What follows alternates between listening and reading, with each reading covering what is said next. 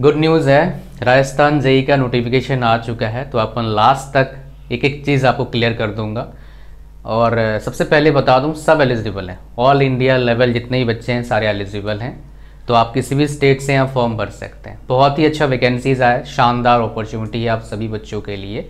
तो हर चीज़ बताऊँगा। Syllabus eligibility criteria form भरना कहाँ से है, उसके बाद कितना सैलरी मिलेगा, और कैसे मॉक टेस्ट कहाँ से लें, क्या किताब आपको परचेज करना चाहिए, सब चीज़ आपको बताऊँगा। आ जाओ, यहाँ बात करते हैं। सबसे पहले वैकेंसीज की बात करते हैं। टोटल वैकेंसीज हमारे पास कितना है? 1111 वैकेंसीज है। ठीक है? तो इनमें से क्या है आपका? गैर अनुसूचित क्षेत्र अनुसूचित क्षेत्र और कुल पद कितना हमारे पास है? तो इसमें ब्रांचेस कौन से एलिजिबल हैं? सिविल डिग्री का अलग इन्होंने कर दिया है। बहुत अच्छा स्टेप है।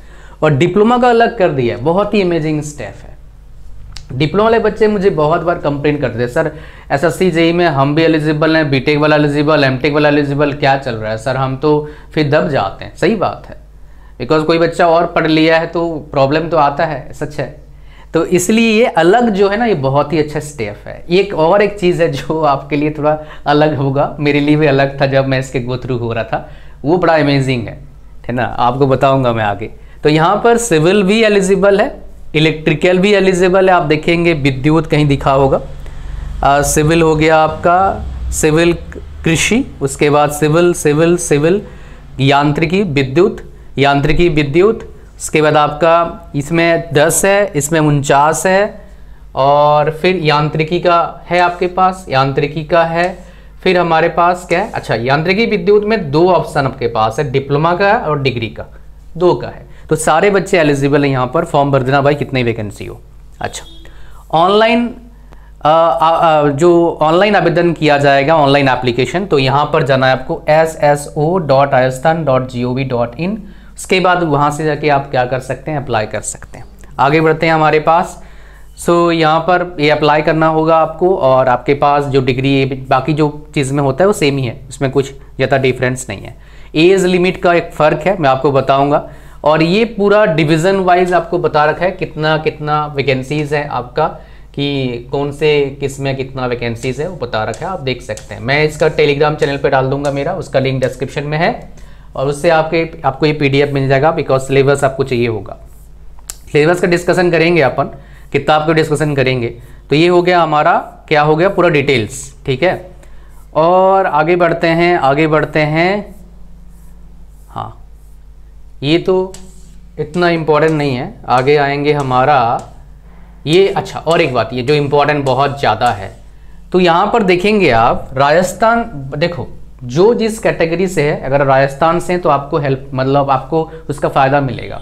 लेकिन if you are from other states जैसे राजस्थान राज्य के अलावा, ऐसे अभ्यर्थी जो अन्य राज्य केंद्र शासित प्रदेशों से मूल निवासी हैं मतलब डोमिसाइल है वो भी एलिजिबल हैं बट उनको क्या है ना ये कैटेगरी का बेनिफिट नहीं मिलेगा उनको क्या हो जाएगा आवेदन लाभ देना चाहिए होगा कारण उन्हें मान्य सामान्य वर्ग मतलब यूअर में आप आएँगे जो जनरल कैटेगरी में आप आएँगे उसका ये कहानी है ठीक है? अनरिजर्व बोल सकते हो अच्छा।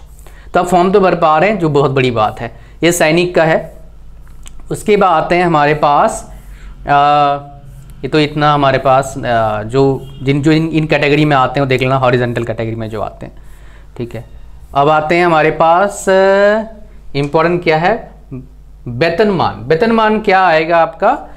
लेवल टेन का होगा। कितना आपको सैलरी मिलेगा, जो मैं देख रहा था? अच्छा आपको बता दूँ, राजस्थान जेई में मेरा एक कलीग काम करते हैं। मतलब मेरे साथ काम करते उनका जॉब लगा था, अभी वो जॉब करते हैं उसमें, राजस्थान जेई में ही। इलेक्ट्रिकल ब्रांच से वो थे। तो उसमें जो सैलरी पहले का अलग कहानी था। पहले प्रोविशन पीरियड था, अब है या नहीं है मुझे नहीं पता। बट अभी जो इसका सैलरी है, ये लगभग बावन हज़ार के आसपास आपका, तिरपन हज़ार के आसपास सैलरी बनेगा पर मंथ पचास हज़ार प्लस बनेगा, कट कूट के पचास के आसपास मिलेगा आपको, ठीक है? और ये आपका, मैं आपको दिखाऊँगा क्या सिलेबस है, सबका अलग सिलेबस है तो आपको पता होना चाहिए। राष्ट्रीयता आपका ये होना चाहिए, भारत के नागरिक, नेपाल का प्रजातंत्र के को हो और भूटान का प्रजा जन मतलब प्रजाधन मतलब क्या है? नागरिक की बात कर रहा है शायद। और या फिर कोई ऐसे जो बाहर देश से आए हैं, बस सेटल हो गए परमानेंटली वो भी एलिजिबल है इसमें।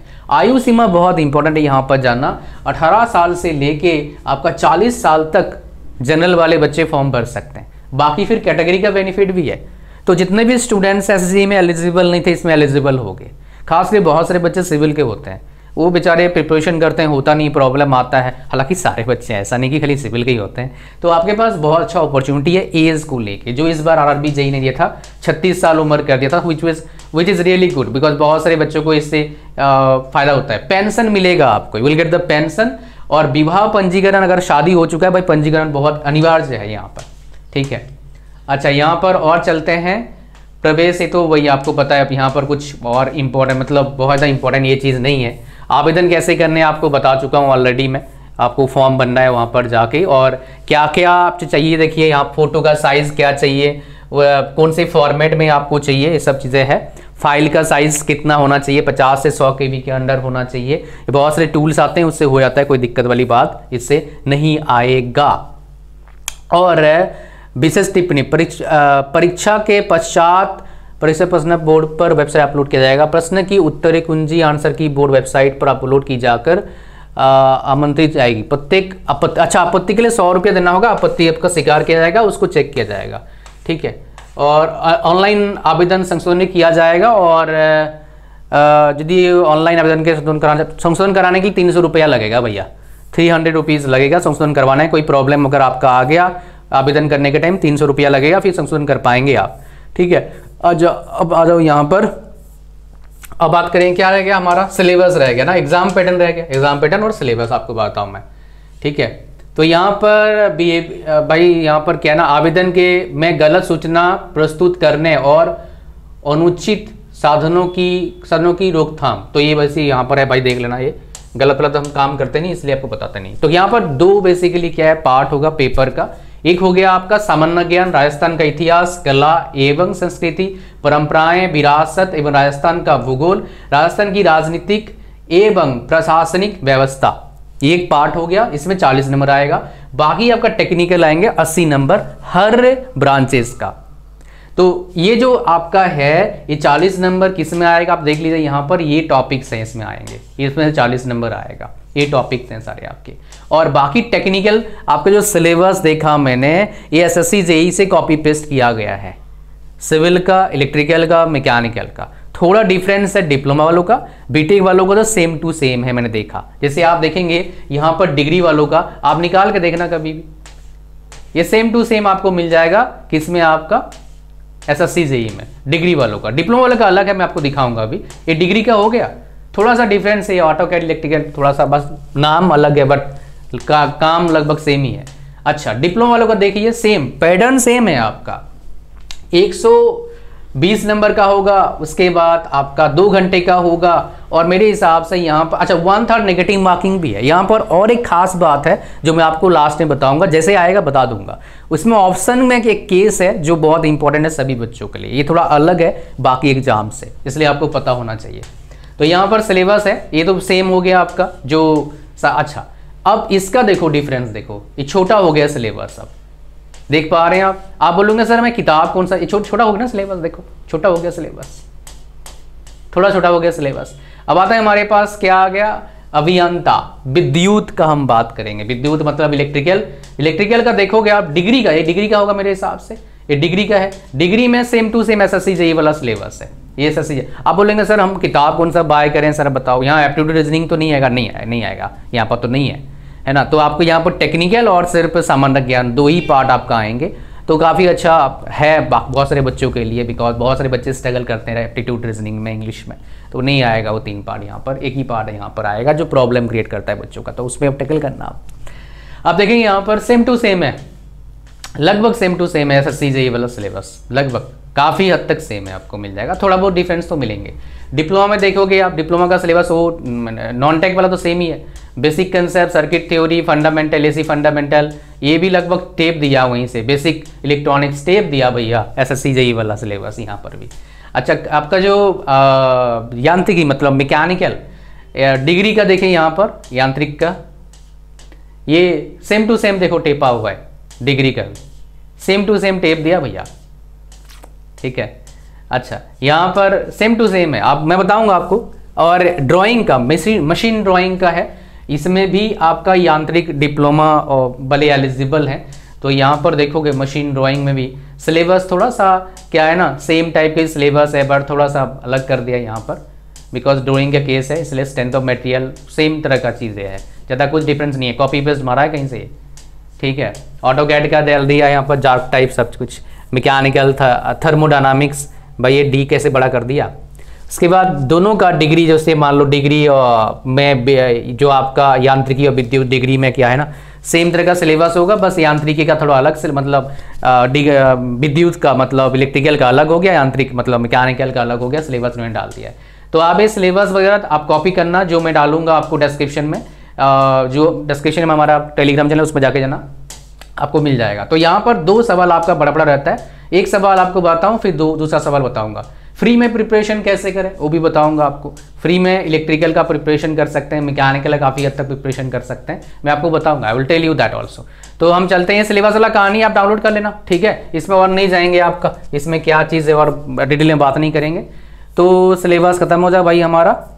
अब चलते हैं हमारे पास, जो मैं बहुत इंपॉर्टेंट है, आप सभी लोगों को बताना चाह रहा था मैं, जो है आपका ऑप्शंस ये ऑप्शंस वाला कहानी यहाँ पर स्टार्ट होता है। देखो, यहाँ पर पाँच ऑप्शन आएगा। बोलो ठीक, कोई बात नहीं, बहुत एग्ज़ाम में आता है। नहीं, यहाँ पर वो वाली बात नहीं है। यहाँ पर लास्ट लाइन पढ़िए। लास्ट लाइन पढ़िए। बहुत इंपॉर्टेंट है। A candidate who has not darkened any of the five circles in more than ten percent question shall will shall be disqualified बोलो, ऐसा क्या है भाई?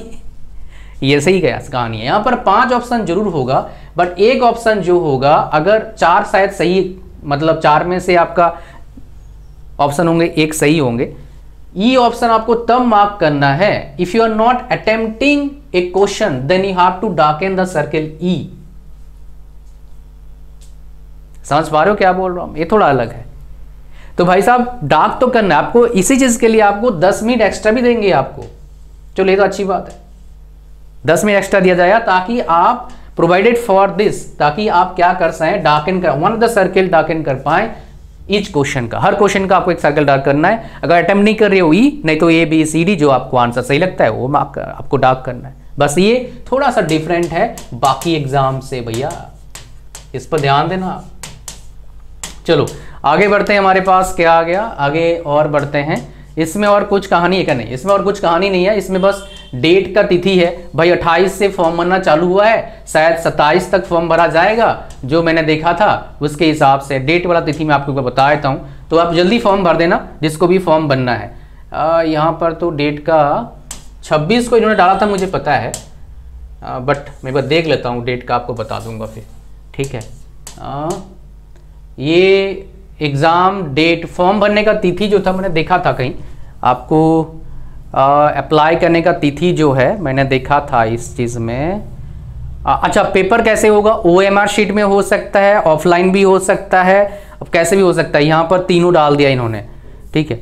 तो शायद सत्ताईस अगस्त दिसंबर तक शायद आपका रहेगा और छः सौ रुपया आपका फ़ीस लगता है फॉर्म भरने के लिए। अब क्वेश्चन आता है आपके पास तीन चार क्वेश्चन है सर आप बताओ सर तीन चार क्वेश्चन हमारे पास। सिलेबस तो बता दिया मैंने। दो और क्वेश्चन, सर। प्रिपरेशन कहाँ से करें, सर? फ्री प्रिपरेशन आप बताओ, कई वीडियोस वगैरह मिल जाएगा? फ्री रिसोर्स कहीं है प्रिपरेशन करने के लिए? Free sir free free free पैसे नहीं है, सर।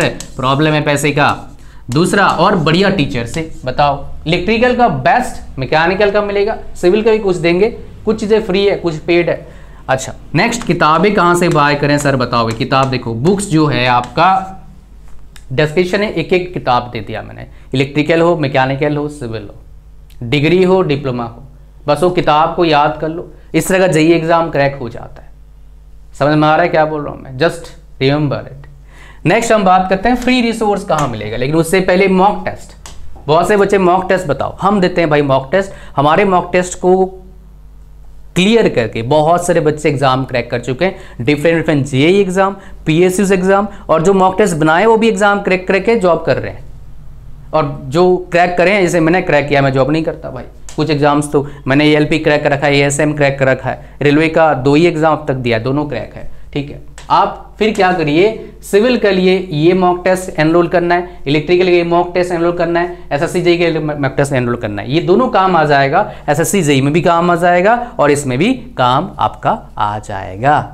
समझ में आ रहा है क्या बोल रहा हूँ मैं? तीनों का लिंक मैं डाल दूँगा डिस्क्रिप्शन टू फोर्टी नाइन में। दस दस फुल लेंथ है सौ सौ क्वेश्चन का एक एक का आपको टेक्निकल मिल जाएगा।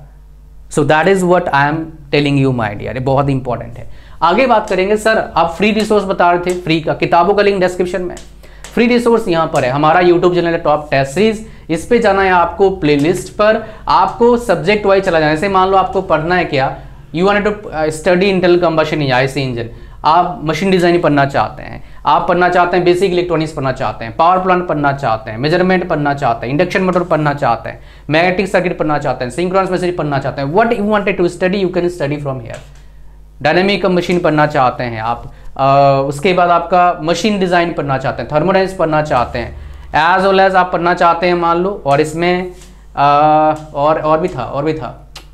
एसी फंडामेंटल पढ़ना चाहते हैं। So what you wanted to study you can get from here और जो टीचर देख रहे हैं ये ऑलरेडी एस में जॉब कर रहे हैं। ये भाई साहब जो पढ़ाए हैं मैं बता देता हूँ ये आई बैंगलोर से पास आउट हैं। आई एस सी बैंगलोर से एम टेक करें। हैं ना? अभी एक अच्छे कंपनी में काम कर रहे हैं। तो इस तरह का है। अरे ये सर दिल्ली में पढ़ाए हैं काफ़ी साल। तो इस तरह कहानी आपको जो बता रहा हूँ, मैं आपको तो यहाँ से मिल जाएगा आपको। ये फ्री है। ये हमारा ही चैनल है। ठीक है?